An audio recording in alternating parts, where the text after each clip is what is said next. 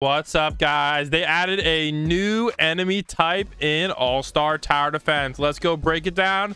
And this one is even worse, guys, than the Rage units that I know you guys love. So let's go break it down. So how do you encounter these new units, guys? You got to go to the new World 3.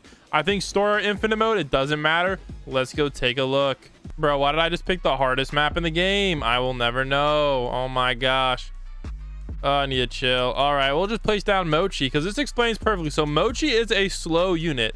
If you guys don't know, Blackbeard six star, you know, Mochi's a slow unit. So this is going to come into effect when we talk about the new unit. All right, let's go right here. All right, here we go. I think they're about to come on through. Yes, guys, look at this, guys. Stop. Enemy type, steadfast.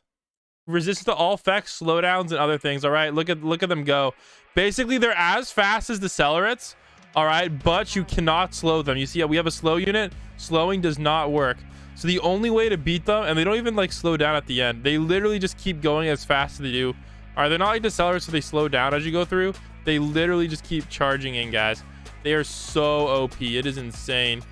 It is insane dude. These are they're literally like the most broken unit in the game. Like if you have to face them like good luck.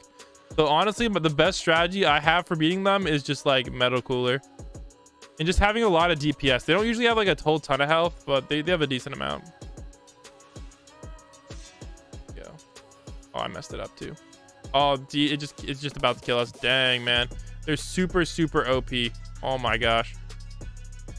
Let me get a picture of them though.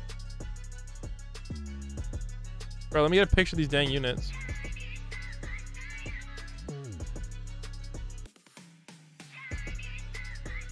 Go. Perfect. Perfect.